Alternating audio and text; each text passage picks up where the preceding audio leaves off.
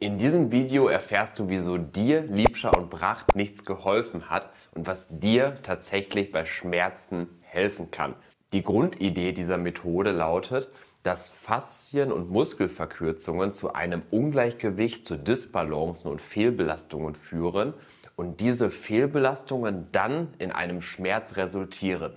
Der einfache Trick, regelmäßig dehnen und stretchen und schon wird der Schmerz wieder vergehen. Aber warte mal, du guckst ja dieses Video wahrscheinlich, weil es bei dir eben nicht geholfen hat. Und ich kann dich beruhigen, so wie dir geht es hunderttausenden anderen Menschen auch. Denn die grundsätzliche Fehlannahme dieser Methode basiert auf dem Trugschluss, den menschlichen Körper und den Mensch an sich wie eine Maschine zu betrachten. Greift also irgendein Zahnrad nicht ins nächste oder eine Spannung ist falsch eingestellt von Muskeln, von Faszien, dann kollabiert irgendwann das menschliche Körpersystem und es soll zu Schmerzen kommen. Tja, und das ist ganz ehrlich gesagt eine richtig schöne Idee, die zudem plausibel klingt und irgendwie auch für jeden nachvollziehbar ist. Um Schmerzentstehung wirklich auf moderne Art und Weise verstehen zu können, werfen wir einen ganz, ganz kurzen Blick auf das sogenannte biopsychosoziale Schmerzmodell. Biologische Faktoren können wie in dem Beispiel von Liebschau und Bracht hier zum Beispiel die Faszien oder Muskeln sein. Es können aber auch zum Beispiel andere organische Ursachen eine Rolle spielen. Psycho bedeutet an dieser Stelle ganz und gar nicht, dass du irgendwie einen an der Murmel haben musst, um so lange Schmerzen schon ertragen zu müssen, sondern bedeutet vielmehr, dass jedem Menschen, jedem Individuum ein ganz eigenes ja, Verhalten, eine eigene Einstellung und eigene Emotionen innewohnen, die allesamt einen großen, großen, großen Einfluss auf unsere Schmerzentstehung und unser Schmerzerleben haben können. Tja, und mit sozial, da sind so Dinge wie deine Familienzugehörigkeit gemeint, dein Arbeitsverhältnis, deine Freunde oder ganz allgemein gesagt, deine Lebensverhältnisse.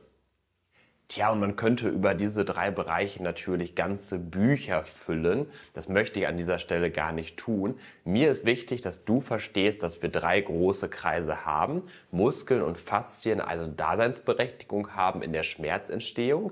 Diese aber einen ganz, ganz kleinen Teil innerhalb eines großen Kreises darstellt. Und für dich sollte an dieser Stelle schon mal die Quintessenz sein, du bist keine Maschine. Du bist ein menschliches Individuum.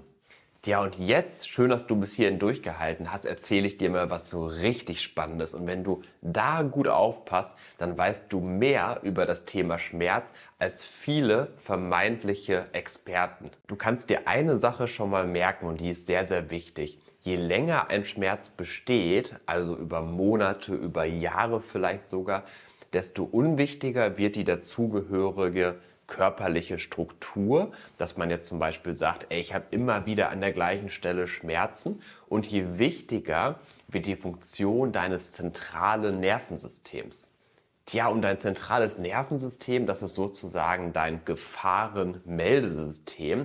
Es scannt also permanent deinen Körper nach potenziellen Gefahren, mit der dein Gehirn, dein ZNS dann möglicherweise auch mit Schmerzen reagiert. Und dafür erzähle ich dir gerne mal ein, zwei richtig schöne Veranschaulichungen, damit du das Ganze auch noch besser verstehen kannst, was aktuell in deinem Körper abgeht. Stell dir mal vor, in deinem Haus, da wäre eingebrochen worden und jetzt kommst du auf die grandiose Idee, eine Alarmanlage zu installieren.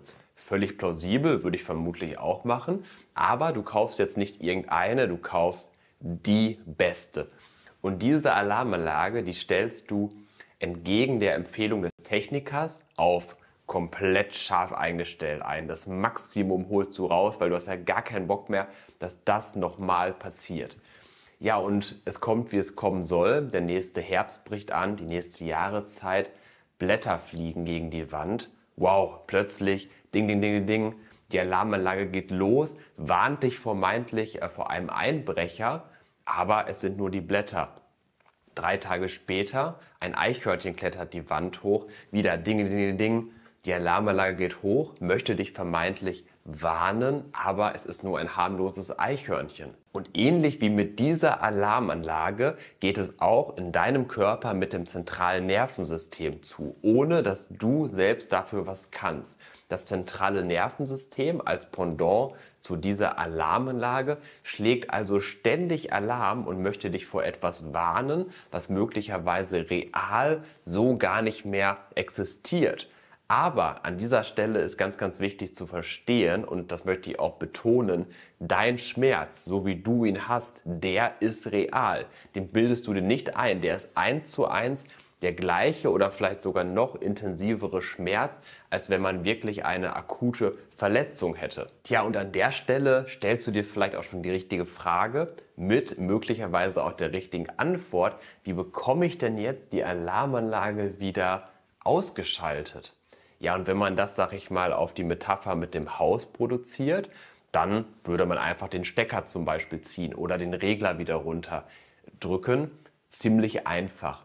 Das Problem in Anführungszeichen ist, dass das bei vielen Menschen im Kontext mit Schmerz nicht so ganz einfach ist, wie du sicherlich auch schon bei dir selbst festgestellt hast. In meinem ganzheitlichen Konzept zum Thema Schmerz gehen wir Schritt für Schritt genau diese Themen an, die es braucht, individuell für dich, um dein zentrales Nervensystem wieder zu entschärfen und deinen Schmerz langfristig zu lösen. Dafür brauchst du zum einen einen seriösen, auf dich individuell abgestimmten Trainingsplan, der deine Bedürfnisse und Voraussetzungen berücksichtigt. Hast du dich schon mal näher mit der Atempraxis, mit Atemtechniken auseinandergesetzt? Falls nicht, dann ist das ein sehr, sehr lohnenswerter Weg, denn man weiß, dass man mit gezielten Atemtechniken das zentrale Nervensystem und damit auch den Schmerz mal so richtig runterholen kann. Und deswegen ist die Atempraxis auch ein ganz, ganz wichtiger Bestandteil meines Coachingplans. Außerdem spielt die Ernährung natürlich als wichtige Basis eine ganz, ganz entscheidende Rolle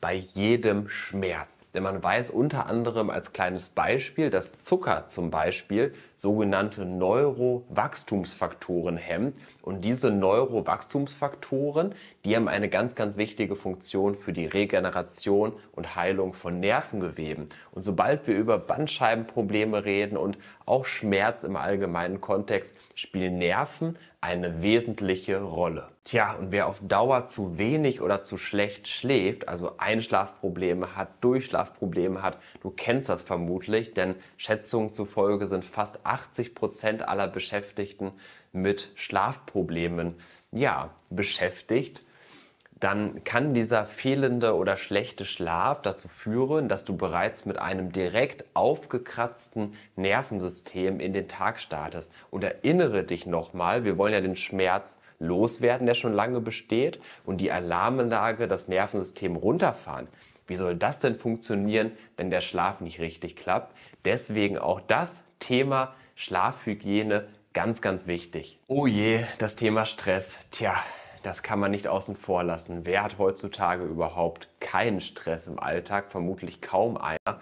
Gewisse Stressuren lassen sich auch nur bedingt herunterfahren. Was wir aber machen können, und da haben sich verschiedene Techniken, verschiedene mh, hm, Praktiken bewährt, ist die Stressresilienz, also die Widerstandsfähigkeit zu verbessern. Dir also ein echtes Schutzschild zu verpassen, mit dem du widerstandsfähiger gegen deinen Stress im Alltag wirst. Tja, und all das sind verschiedene Ideen und Grundsätze, wie du dein Leben dein schmerzfreies Leben wieder selber in die Hand nehmen kannst. Zum einen der gescheite Trainingsplan, Bewegung, die Beweglichkeit zu verbessern, Stabilität und Kräftigung zu erreichen, aber auch die Ernährung als wichtige Basis für mehr Energie, für mehr Positivität, für mehr Stressresilienz. Wir wollen uns um deinen Schlaf kümmern und um Atemtechniken.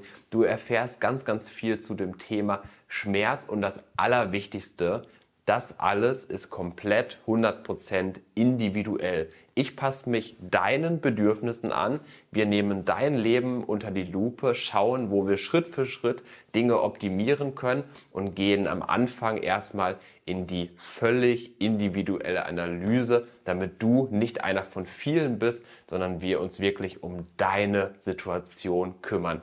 Falls das für dich interessant klingt und du endlich aus diesem Schmerzkarussell herausbrechen möchtest, dann melde dich gerne für weitere Informationen bei mir.